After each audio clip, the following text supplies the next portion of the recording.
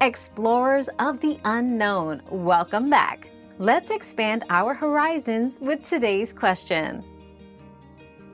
Custom stamps do not expire as long as they are compliant with the current postal rate. This means that if you purchase custom stamps at the current rate, they will remain valid for use, regardless of any future rate increases. It's a great way to personalize your mail while ensuring long-term utility. We've quenched today's curiosity, but there's always more to learn. Keep the curiosity alive by subscribing and joining us for our next adventure.